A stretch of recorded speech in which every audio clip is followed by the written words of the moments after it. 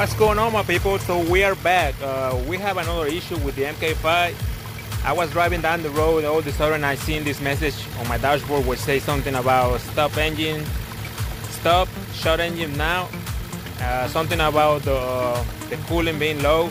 So I came out, you know, and refueled it and cranked it back home and just been monitoring. So here is the deal guys. Uh, I found that there is a minor leak as you can see right there. I don't want this up right here once, maybe twice, but if you pay attention over here, you see what is running. So guys, you know, small little things like this can fix itself. You don't have to take it over to the shop. I was thinking that they probably the coolant was uh, busted or cracked somewhere. But it just happened that uh, to see this little leak over here. So what I'm going to be doing, I'm going to shut my, my engine off. I'm going to release this and check to see if it is only the clamp that is not tight enough something busted in here. But, but I'll be right back, guys.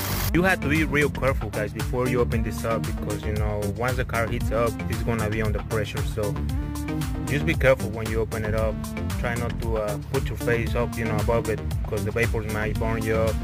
You can see right now, uh, I already, you know, released the cap to release some of that pressure. So I'm gonna proceed and, uh, you know, release that to see what's going on there. So okay, guys, we are back at it. Uh, I went over to my local junkyard and I was able to find one out of an older car. You know, uh, I think it was a 2006. This part is all the same. It doesn't matter if you have the 2.0 turbocharged or you have the 2.5 uh, regular Jetta, Passat, uh, probably newer models as well. Like I say, I already went and went ahead and washed it off. You know, cleaned it up pretty good. There is some black spots on the inside that I couldn't get to it no matter you know I tried and tried but I couldn't get to but anyway I shouldn't hurt anything.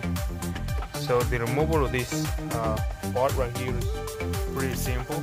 You're gonna need some pliers and you're gonna need uh, a T-Tools 25 so uh, first thing you have to do is uh,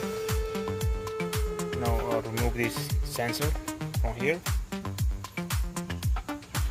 Um, you want to climb there see the tap and just pull back on it.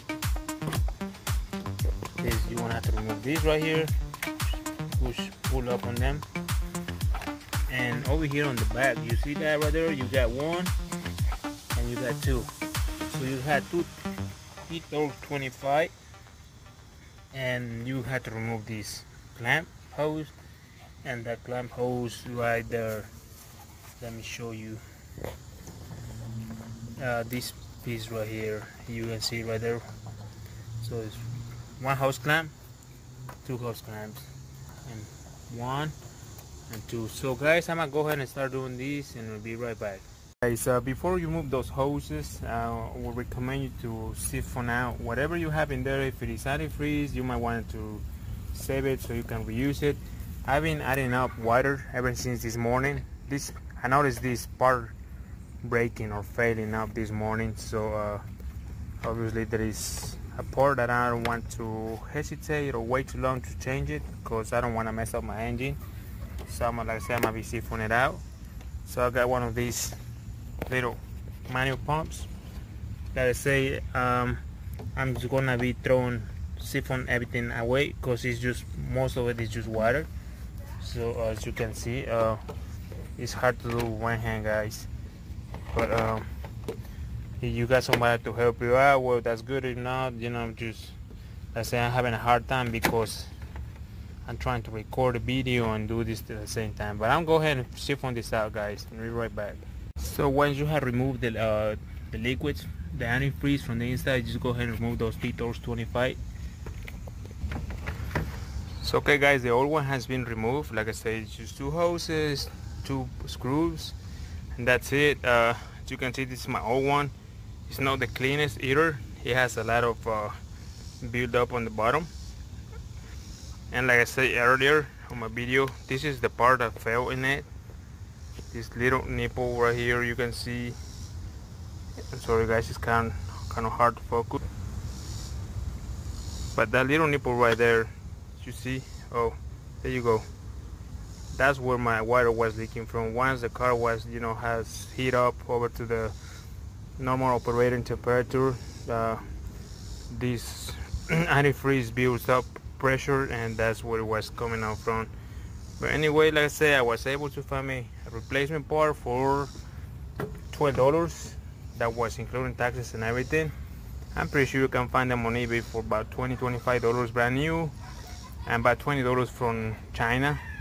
If you feel like you can wait all that you know a long time go ahead. If not I say good choice is your uh, local junkyard. Um, as far as having to purge the system from any air bubbles guys I don't know I'm gonna find out as soon as I replace the unit and refill it with some of that uh, recommended antifreeze or coolant for Volkswagens guys. So I'm gonna go ahead and uh, put my new part back in there fill it up crank my car up and wait to see what's gonna happen. So okay guys so I got the new part back in there. Uh, I went ahead and filled it back up. As you can see I put you know a little bit more than normal. It shouldn't hurt anything. I just put that just in case uh, you know have lost some fluid on the process of interchanging the part so uh, next thing to do is like I said I went ahead and cranked my car up to let it you know reach normal normal operation temperatures and start you know letting the fluids to build pressure to see if I'm going to have any leaks or not. I went ahead and uh, everything off to make sure that there is no leak. If there is any leak I should be able to see you know dripping down just like I did with the other part I said the other part was defected over here. So chances are my crack over here on the seam or uh, somewhere else. But I say guys if you have an issue like this where you notice that you're losing a lot of coolant uh, you have to start checking for leaks you know and you have to start checking for visual leaks. In this case mine was pretty easy to find was over here in the reservoir. Uh, sometimes it might be on the radiator uh, you're gonna have to try to find it but like I said this time my problem was right there. So guys if you having this issue you can you already know that it's not hard to replace. You don't have to take your car to dealership because they're gonna charge you an eye out of your face. I said this part was about $20 on my junkyard about 10 minutes of labor at the most. And that's it guys. But like I say guys thank you for watching